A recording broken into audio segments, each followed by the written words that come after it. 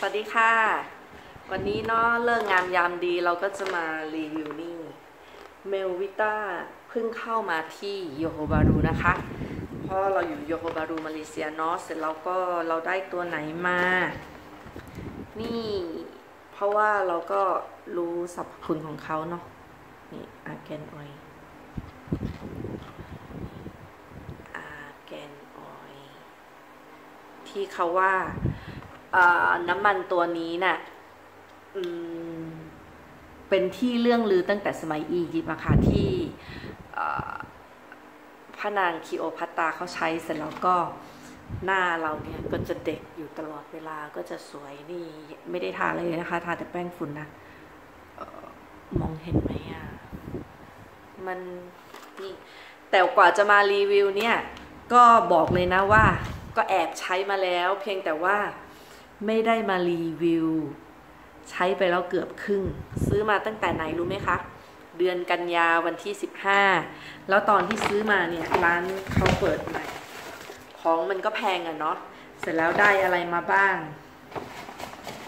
เขาให้อะไรเป็นของแถมบ้าง นี่โรสเอ่ออันนี้ก็โรสแล้วก็ ไอตัวนี้จะเป็นเซรุ่ม เซรุ่มอะไรอะที่เขาเรียกเซรุ่มน้ำผึ้งเหรอ เซรุ่มน้ำผึ้งได้มาสองสองซอง เสร็จแล้วก็ไอตัวนี้ไอนี้ก็ เป็นของที่เขา ก็แถมมาให้เหมือนกัน ก็เป็นในในเครือของน้ำผึ้งของเขาอะค่ะ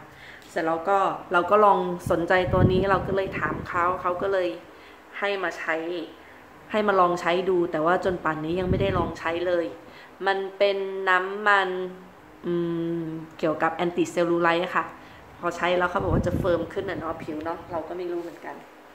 เนี่ยไอไอ nectar ที่เขาให้มานี่ก็คือจะเป็นแบบนี้เอ่อเนี่ย ของเขาจะเป็นแบบนี้ ที่ว่าให้ของแถมมาเนาะยังไม่ได้ใช้เลยค่ะอไอตัว argan oil อะเนาะก็ขวดหนึ่งประมาณร้อยกว่าเหรียญร้อยสามสิบกว่าอะไรประมาณนี้ค่ะร้อยสามสิบหกเสร็จแล้วก็เพิ่มห้าเหรียญตอนนั้นนะเนาะซื้อมาสามเดือนที่แล้วอะเขาก็ถ้าหากว่าเพิ่มห้าเหรียญลิงกิตมาเลเซีย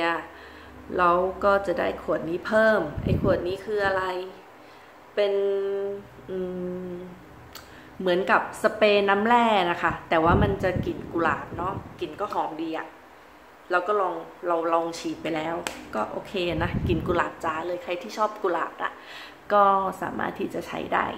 แล้วตกลงตอนกลางคืนเราจะใช้แต่ตอนกลางคืนอย่างเดียวอะเนาะมันก็เวลาใช้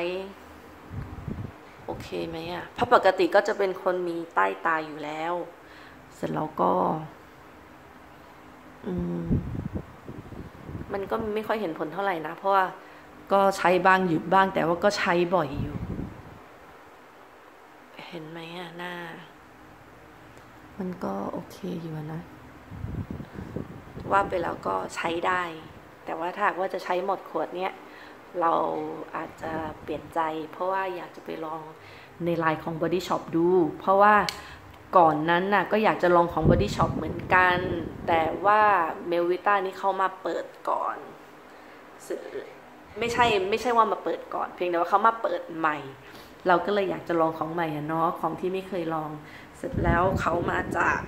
ฝรั่งเศสนะคะผลิตในประเทศฝรั่งเศสเนาะ ก็เลยลองลองดู ถ้าว่าใครสนใจก็สามารถที่จะไปลองได้นะคะ เดี๋ยวเราค่อยมารีวิวอีกอย่างหนึ่งเพราะว่ารีวิวไอตัวนี้ firming